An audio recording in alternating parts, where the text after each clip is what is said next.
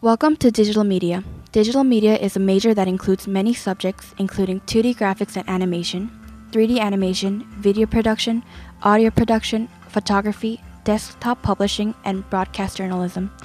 Mr. Miller has been teaching digital media since 2002, and since he wrote the major, he can easily change the direction and pace to fit the needs of any student or class.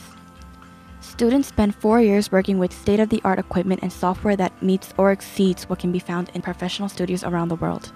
Our video studio is used for live broadcasts such as our morning news and also for other student video productions.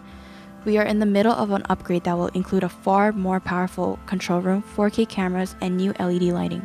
The main classroom is filled with Macs and are loaded with the latest versions of industry standard programs including Adobe Photoshop, Illustrator, InDesign, Animate, Fireworks, Dreamweaver, Muse, Audition, Premiere, and After Effects.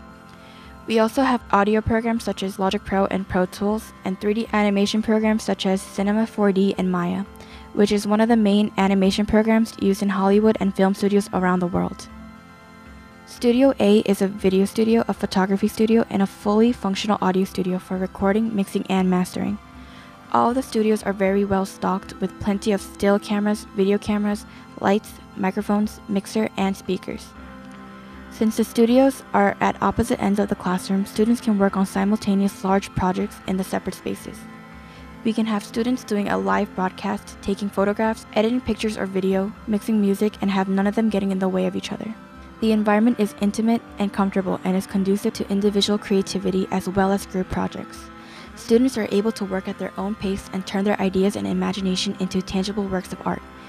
We regularly work with other departments in the school and clients in a real world environment that gives students a true taste of what a career in media arts will involve, but with the safety nets you would expect to find in a high school classroom. Students are in class for one period a day as freshmen and two periods a day as sophomores, juniors, and seniors. There is no portfolio needed, no home computer or software requirements, and no experience necessary. Everything the students need to succeed will be provided. Students with no experience will be comfortably guided, and students with prior experience will be challenged and able to channel that experience into new creative outlets.